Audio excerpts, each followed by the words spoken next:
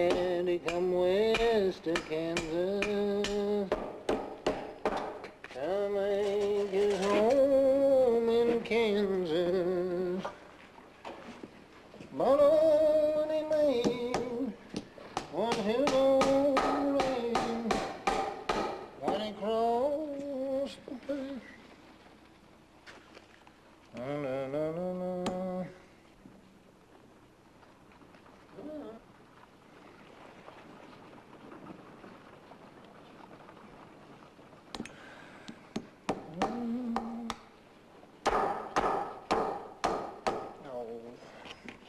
Either you or that hammer's left-handed.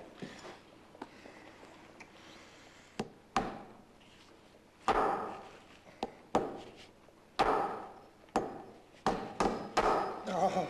Well, that wouldn't happen if you got some of those nails that don't bend.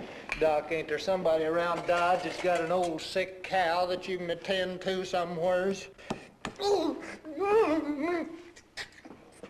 now, that wouldn't happen if you held onto the hammer with both hands.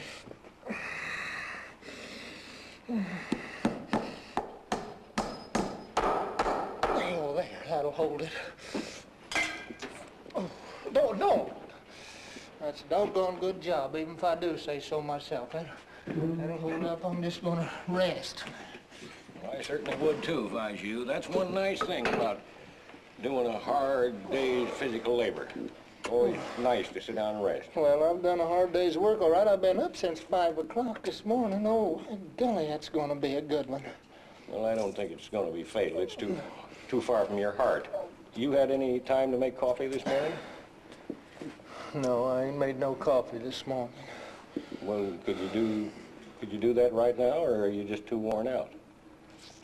What do you do, Doc? Go down to Delmonico's so that you can mooch a toothpick so you can come up here and mooch a cup of coffee? Well, all right.